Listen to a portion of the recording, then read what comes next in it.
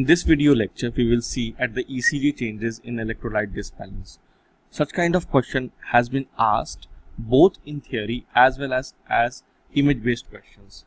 Let's look at one of the questions asked in EC on ECG this year. Diagnose the underlying condition due to electrolyte disbalance.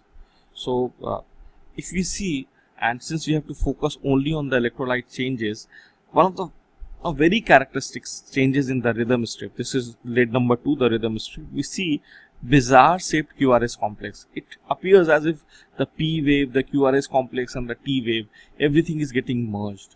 So we have uh, bizarre shaped QRS complexes. I mean the P wave is getting merged with the QRS complexes. The second characteristic change. So you see in lead 2, the rhythm strip you can see such changes. Even in lead 3 you can see that changes. Second characteristic is this T wave. I mean, this is QRS complex, this is T wave.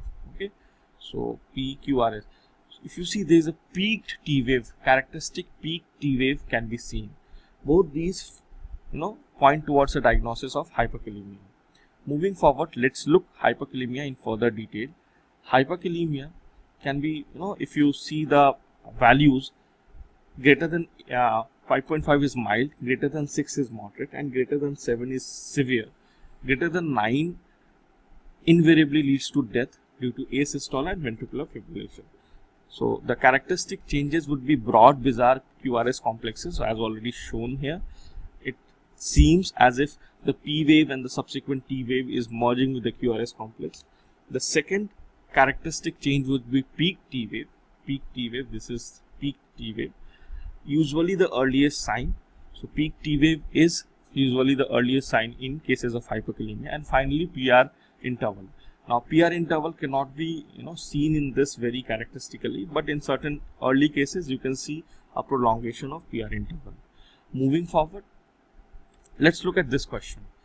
A 61 year old woman presents to emergency department with diarrhea and vomiting. She has recently been started on furosemide by her GP for hypertension. What what happened?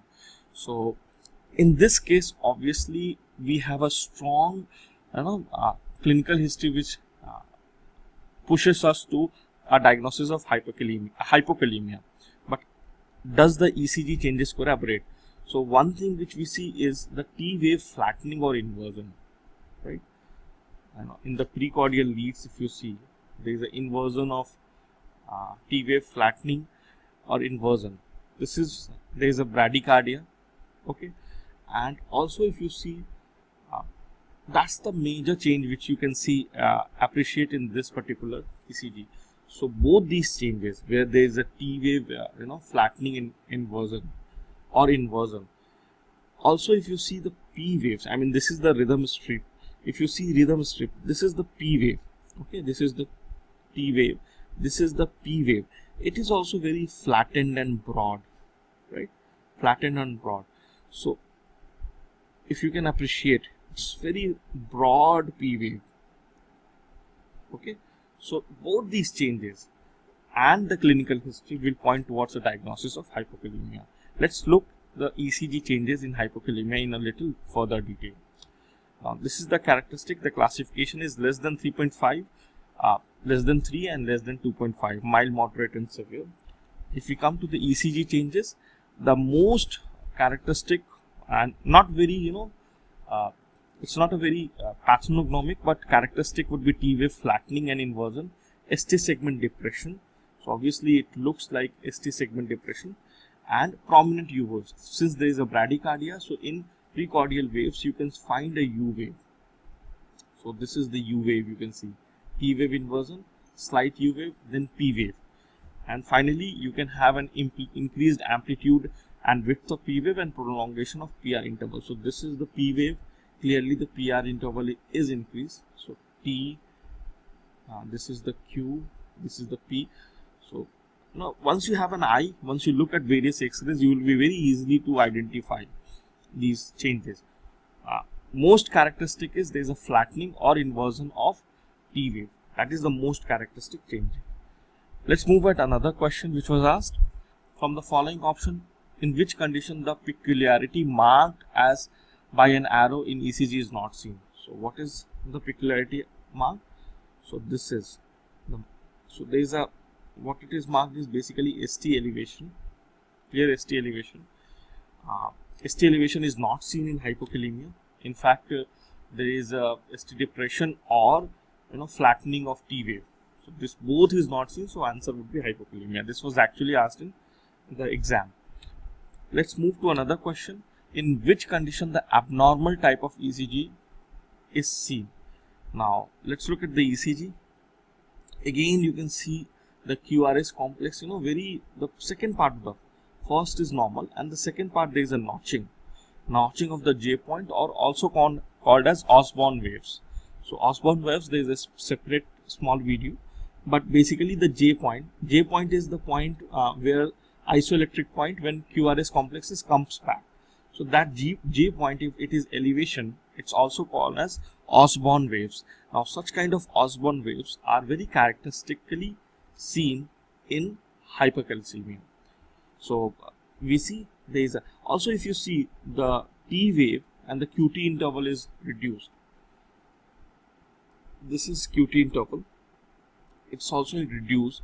So these two features more characteristically the raising of the J point or the Osborn wave points towards the diagnosis of hypercalcemia.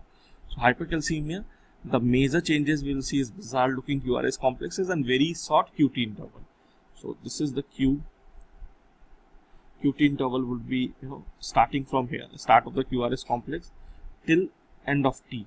So this typically should be around less than 9 but in this case it is almost only 5 or 6 you know one large small one large square and a little beyond it. So 6 small square. So definitely there is a short QT interval.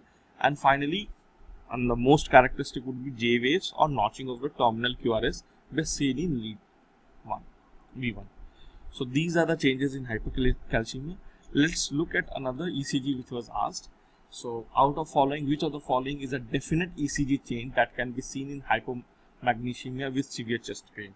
So this was the ECG which was shown. And again, if you see uh, the most characteristic, I mean the QRS complex looks normal, the T wave looks normal. But if you see the T wave is very far, QRS complex T. So the QT interval is clearly increased. You know, it can be best appreciated in the rhythm strip so P, QRS and then T. P, QRS, then T. So QT interval is definitely prolonged in this and such kind of QT uh, prolongation is also characteristic of hypomagnesemia. So these were the question asked. Hypomagnesemia if we see normal serum magnesium is 0.8 to 1.0 hypomagnesemia is less than 0.8 and the primary ECG which you see change you see is prolonged QT interval. Again this was a question asked. Prolonged QT interval has been asked so many times that you are required to learn all the causes of prolonged QT interval by heart. So I've just listed some, the drugs list you can see in the notes. Finally, a summary of all the changes in the ECG.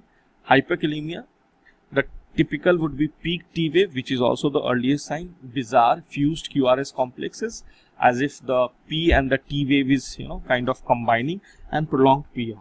If we see hypokalemia, T wave inversion or flattening. So here there is a P, peak T wave. Here there is a T wave inversion or flattening. Pro prominent uh, P wave, not very, uh, and U waves in precordial leads. So the main differentiator between hyperkalemia and hypokalemia would be hypokalemia, it's a T wave inversion or flattening. Hyperkalemia, it's a peak T wave with a bizarre QRS complexes. Hypercalcemia, again, the characteristic would be short QT and Osborn or J wave. And hypomagnesemia, the characteristic would be prolonged QT interval. So there, there can be many more questions on the electrolyte changes in ECG. Hope you have understood. Thank you.